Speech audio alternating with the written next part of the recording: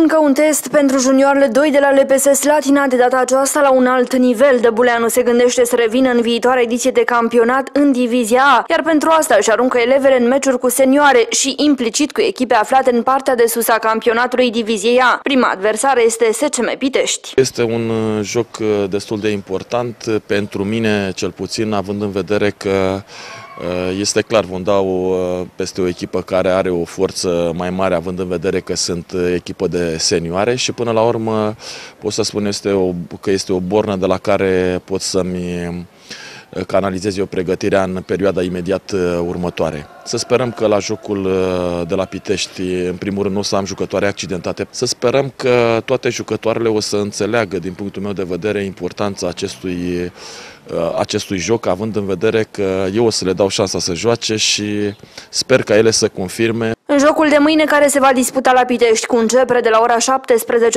Dăbuleanu va urmări mai multe aspecte.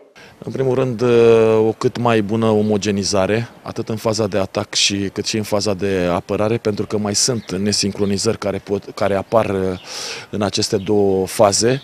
De asemenea, omogenizare pe cupluri de două-trei jucătoare, cât uh, și de asemenea exersarea unor combinații care le am în faza de, de atac. Următorul meci de verificare va avea loc la finalul acestei săptămâni cu divizionarea CSM Slatina.